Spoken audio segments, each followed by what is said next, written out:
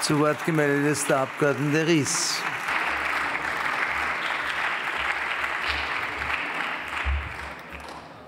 Sehr geehrter Herr Präsident, werter Herr Bundesminister, Damen und Herren des Hohen Hauses!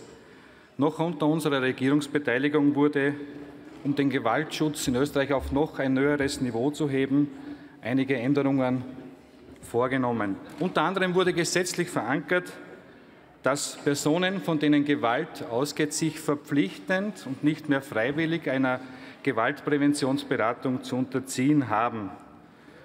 Das ist neben der Arbeit mit dem Opfer ein wesentlicher Bestandteil, um den Gewaltschutz in Österreich voranzubringen, um um häusliche Gewalt zurückzudrängen.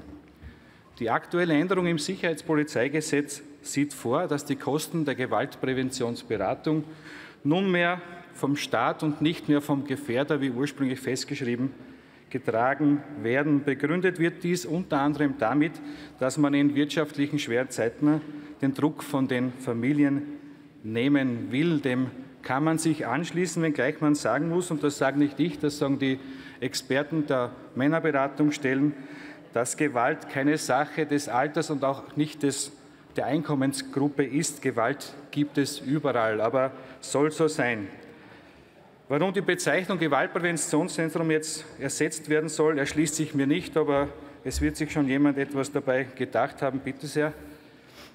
Wir begrüßen auch, dass die Mittel der Opferarbeit aufgestockt werden sollen. Das ist für uns keine Frage. Und es ist auch erfreulich, dass das Angebot für die Opfer von Zwangsheirat ausgebaut werden soll.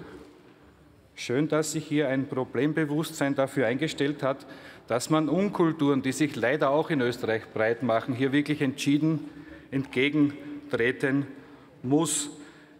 In diesem Sinne, Herr Bundesminister, geben Sie den Druck, den es vielleicht gibt von Seiten Ihres Regierungspartners, nicht nach. Verfolgen Sie den Kurs weiter, den wir gemeinsam begonnen haben. Denn wer in Österreich leben will, der muss unsere Kultur und unsere Lebensart respektieren schätzen und er sollte sie auch mittragen. Wenn er das nicht möchte, bleibt ihm immer noch die Reisefreiheit. Eine alternative Sicht dazu gibt es für uns nicht. Danke sehr.